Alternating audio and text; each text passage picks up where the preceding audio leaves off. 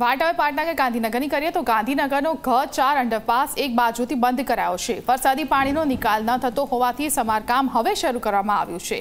ગઈકાલે ઘ ચાર અંડરપાસમાં પાણી પણ ભરાઈ ગયા હતા.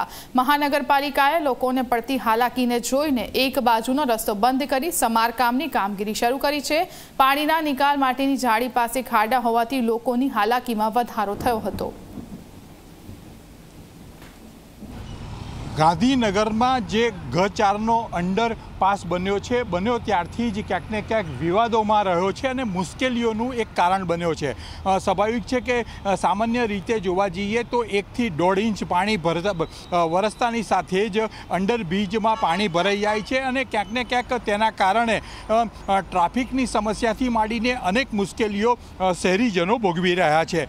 ગઈકાલે જે પ્રકારે જે પ્રકારે પાણી પડે વરસાદ વરસ્યો હતો અને તેના કારણે અંડરબ્રિજમાં મુશ્કેલી સર્જાઈ હતી. સ્વાભાવિક છે કે ક્યાંક ને ક્યાંક જે પાણીના નિકાલની જે વ્યવસ્થા છે, એ વ્યવસ્થામાં ખામી હોવાના કારણે આ મુશ્કેલી થાય છે. થોડા દિવસ પહેલાં પણ રિપેરિંગ માટે અંડરબ્રિજનો એક સાઈડ બંધ કરવામાં આવ્યું હતું. આજે ફરી એકવાર અંડરબ્રિજની બીજી સાઈડને બંધ કરવામાં આવ્યો છે. એટલે એવું ચોક્કસ કહી શકાય કે અંડરબ્રિજની જે ડિઝાઇન છે, એ ડિઝાઇનના કારણે આ મુશ્કેલી સર્જાઈ છે અને એના કારણે આજે ફરી પાછો અંડર પાસ છે, એને એક એક સાઈડે બંધ કરીને એનું રિપેરિંગ કામ હાથ ધરવાનો નિર્ણય લેવામાં આવ્યો છે.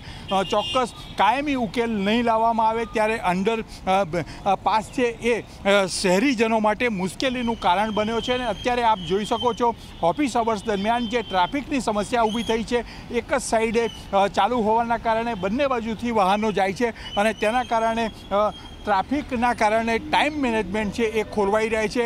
જ્યારે ચોમાસામાં વરસાદ પડે ત્યારે વાહનોની મુશ્કેલી વધે છે અને એ પ્રકારના ક્યાંક ને ક્યાંક ખાડા છે, એનું રિપેરિંગ છે, કે જાડીઓ એટલી ઉપર છે કે વાહનો અથડાઈને નંબર પ્લેટો પણ નીચે પડી જાય છે.